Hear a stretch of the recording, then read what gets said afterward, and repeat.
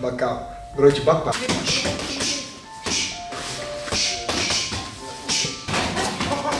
Bosco, ram. Eh, mag ik als enige Nederlands kickbokser dadelijk daar eh, gaan proberen om nog één keer het kunstje te vertellen?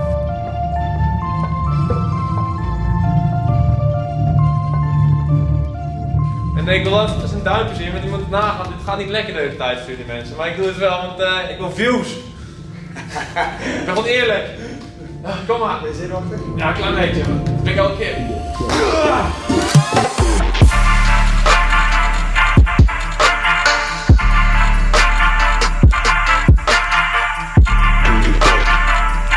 Yo mensen, hier en welkom bij een nieuwe video. Vandaag zijn we onderweg naar Den Bosch. En waarom naar Den Bosch? Omdat we vandaag mee gaan trainen met de groep van Andy Sauer. Ik ga les krijgen van Andy Sauer. Ook wel de trainer van Alex Maas. Eh, ik heb laatst ook mee getraind, die van Temptation Island. Ik heb er zin in, ik ben nu eh, halverwege. Ik ga nu even snel even wat eh, drinken. Bulkpowders, je weet toch mensen. Dus uh, zoek een supplementen, check even de link in de beschrijving. Want eh, ik ben natuurlijk een bulkpowders athlete. En dat betekent dat ik gewoon bij hun onder contact sta, sporter ben. En ja, ik ben er best wel trots op, want hun staan wel voor natuurlijke producten. En ik ben zelf wel van de natuur. Dus eh, ja, deze. Gewoon even een per, workoutje zonder cafeïne. Dus eh, gewoon even puur voor de, ja, even voor een klein beetje boosten. Niet, niet te veel. En doel was natuurlijk even een duimpje omhoog. Reageer ook lekker veel op deze video, want reacties helpen mijn video's natuurlijk om te pushen, om meer views te krijgen. En dat hebben we natuurlijk nodig, want Atos is back on YouTube. Ik ben niet meer bij Prankster helaas, maar eh, solo gaat ook wel lukken toch, of niet? Met jullie gaat alles lukken, let's go.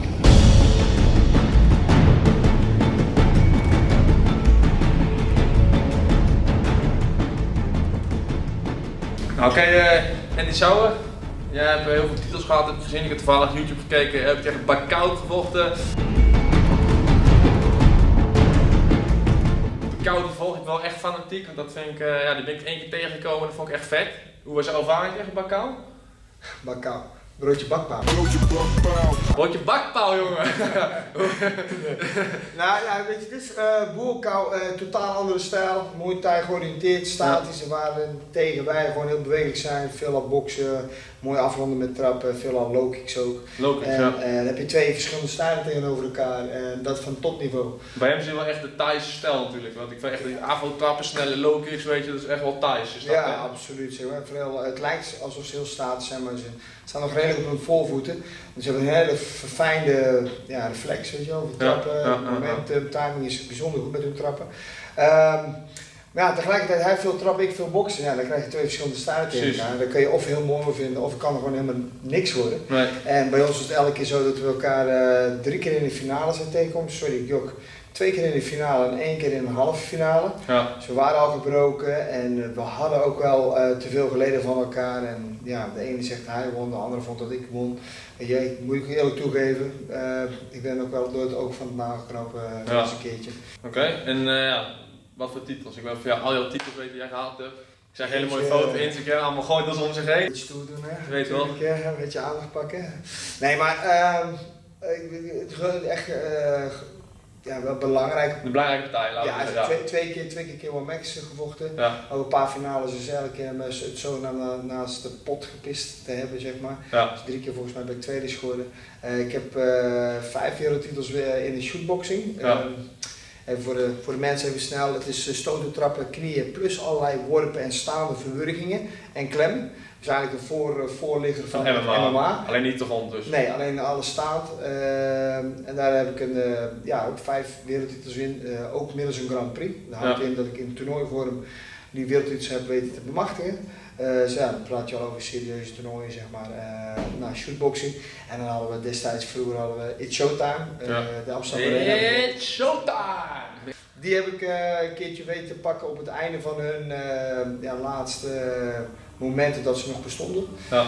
Toen zijn ze overgekocht door Glory destijds, met de Golden Glory. Eh, dus ik heb nog een titeltje daar gepakt en dan nog een paar handjevol uh, krokettenbond, frikadellenbond. Ja, oké. Nice, oké.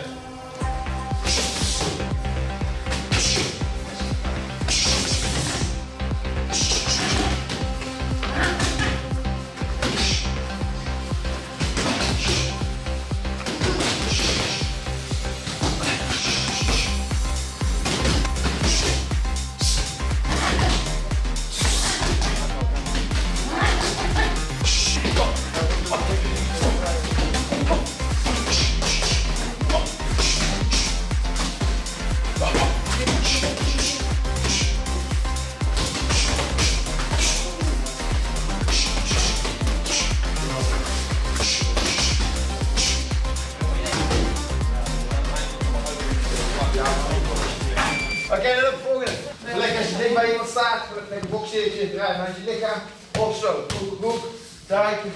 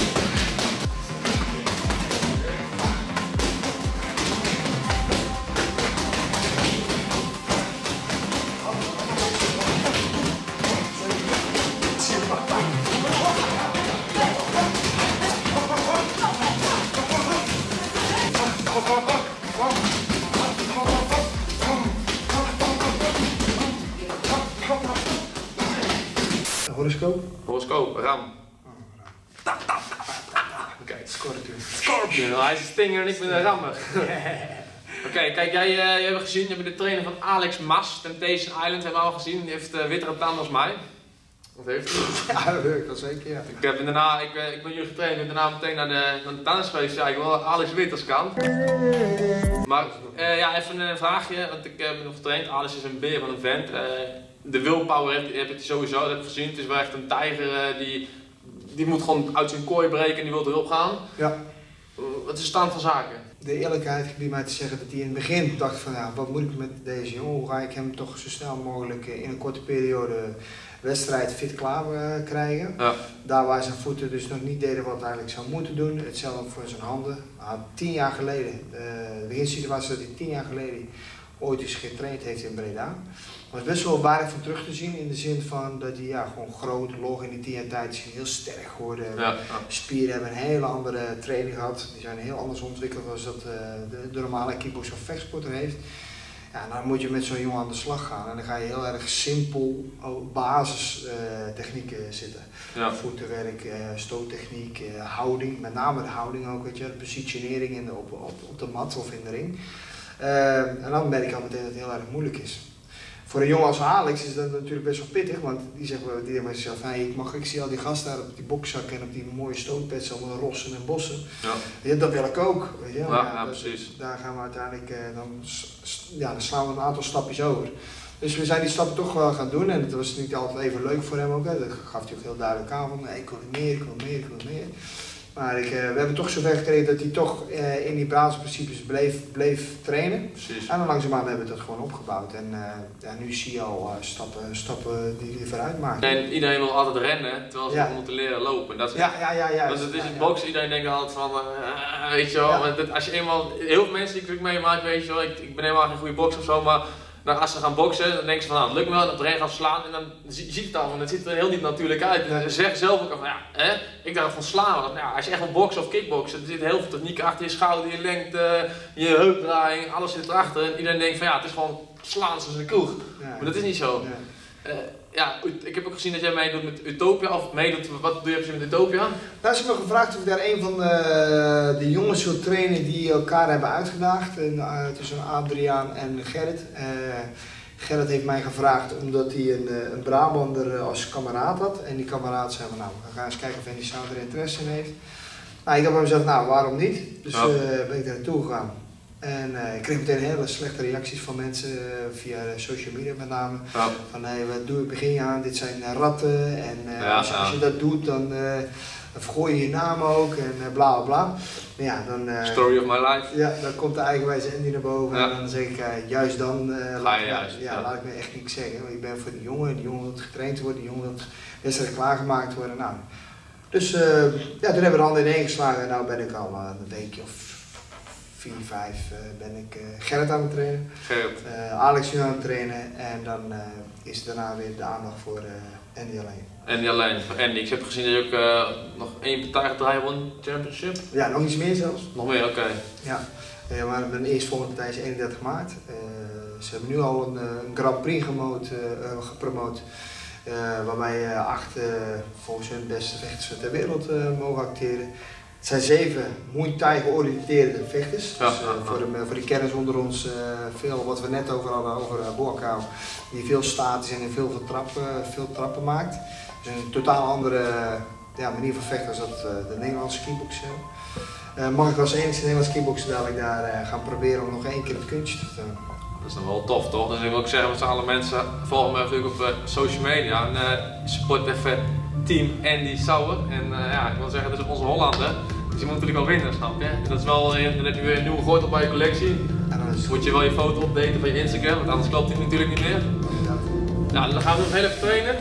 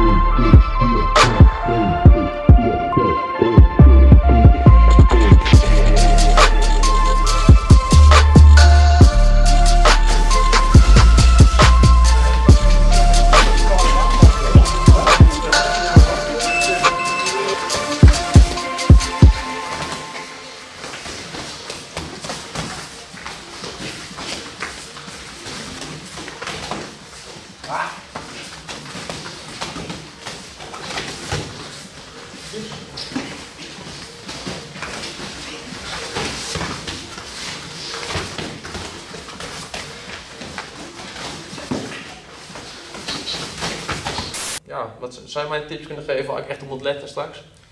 Ja, mag ik dat nu vertellen? Want je gaat uit de partij in en ga Ja, je hij mag het wel zeggen, hij mag het wel zeggen. Kijk, kijk of ik het gebruik. Ja, oké.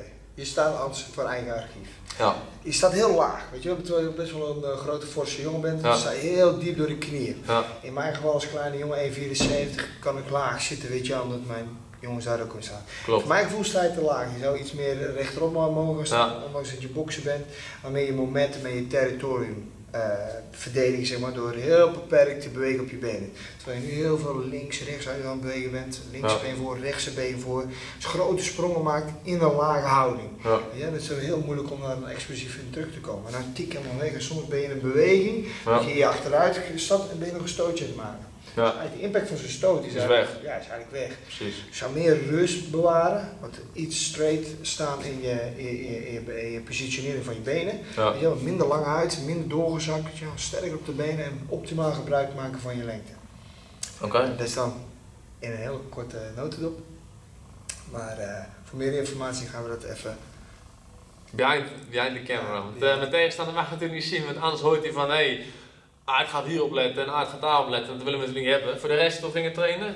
Ja, ging wel lekker toch volgens mij. We zijn eh, lekker rustig wat dingetjes doorgenomen. Ja, ik heb, ik heb ook lekker met iedereen meegespart. Het was niet, eh, geen gedrag. Ik kom Nee. op een sportschool, dan heb je haantjes die willen gewoon je neus van je lichaam afslaan. Ja, ja. En dan ga je zelf mee en aan het eind denk je van ja, dan heb je ook kop aan en denk je van ja, oké, dat is niet echt Daar heb leuk. ik er aan gehad. We hebben, Ja, precies. Heb ik hier totaal niet gehad. Dus dat wil ik even zeggen. Dikke SO voor iedereen die het was.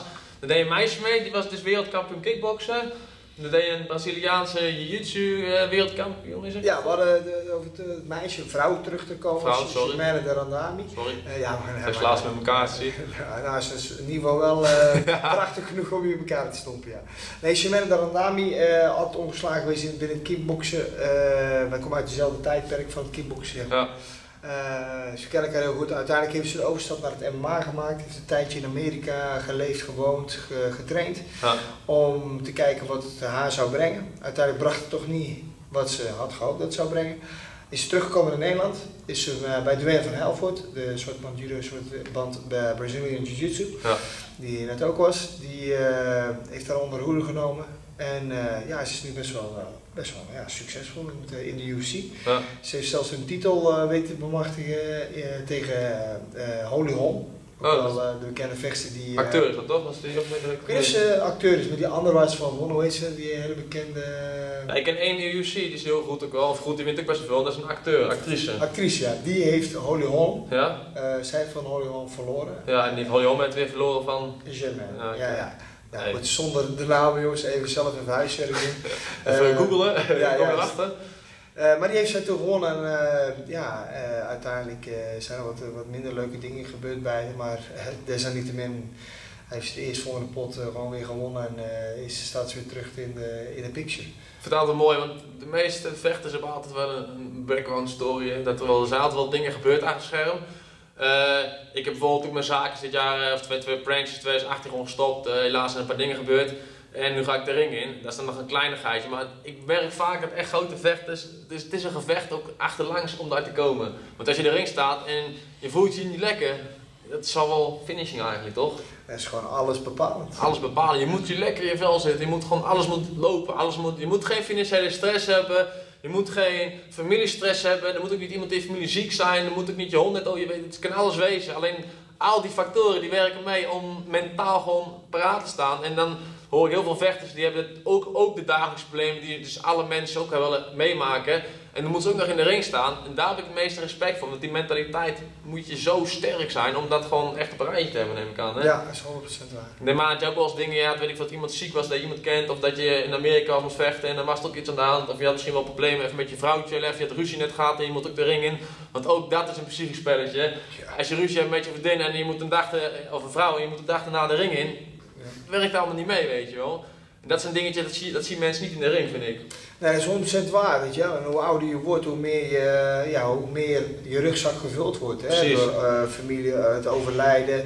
En mijn schoonmoeder is zeven, zeven jaar lang eh, geleden aan de, de vervelende ziekte kanker. Ja. Weet je wel, elke keer ups en downs gehad. Ja, dan neem je elke keer mee. Ehm, ik ben heel erg met mijn schoonfamilie. Precies. Ehm, als er maar iets gaande is, inderdaad, veel misschien op financieel vlak, weet je wel, ja, dan heb je dat als drijfveer en dan heb je ook alleen maar stress. Terwijl ja, natuurlijk als een jonge jongen in de ring in ging, eh, dan hoefde ik alleen maar na te denken over de winst. Nou, precies, dan ging het gewoon lekker erin, draait en klaar. En op een gegeven moment word je ouder en die komt meer, eh, hoe noem je dat, meer verantwoording in je leven en dat moet je allemaal meenemen, de ring in principe. Eigenlijk neem je alles wat je hebt, neem je mee de ring in, toch of niet? Ja, dat, is ook proberen het zo hard mogelijk af te sluiten. Ja. Eh, of jezelf er zich van af te sluiten. Het is toch wat je uiteindelijk meeneemt. In de dagen, de weken, de maanden ervoor, wat je dan al meemaakt, dat zit in je lichaam. En iedereen denkt wel van, ah dat valt allemaal mee, maar op een gegeven moment heb je het niet meer in de gaten. Nee, is- nee, het vreet aan je. Ja, het is net, is net gif. Je bent gewoon eh, langzaamaan vergiftigd. En dan, Precies. Dit kun je wel, Ja. maar als je met het hoofd niet op het juiste moment dit doet, of Maar als jij vecht en je bent gewoon topfit en topconditie, je hebt totaal geen stress, dat is een heel verschil. En Als jij, eh, je komt net bij je moeder vandaan die op sterven ligt, neem ik Ja, aan. Dan, ja, of, of, je, je tante of familie, dan zit je heel anders in je vel. Dat zijn dingetjes, daar heb ik wel respect voor vechters, want ook hun kun je niet zeggen van ja, ik kom niet, want eh, die is ziek. nee, nee, zo werkt Dat, dat gebeurt niet, snap je? Dus daarvoor respect voor alle vechters. Ook deze keer wil ik even zeggen, ik promoot natuurlijk geen vechters. Ik promoot wel vechtsport en de naam zegt het al sport.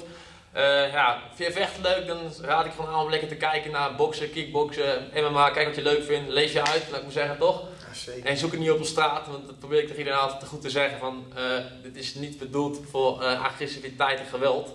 Want dat promote ik helemaal niet eigenlijk. Ik ben meer van de peace en love, ben gewoon relaxed. Alleen ik vind de sport wel echt mooi. En vandaar ook deze serie. En eh, ja, we gaan nu nog even afsluiten. Ik heb nog even twee klappen van Andy. Daar heb ik nu al geen zin meer in. Daarna ga ik meteen naar huis, want dan ben ik meteen klaar. Let's go. Mensen zijn aangekomen aan het eind van de training. Je weet dat ik me altijd in mijn bar kan slaan door, eh, ja, door wereldkampioen. Hè. Deze keer is de eer aan Andy Sauer.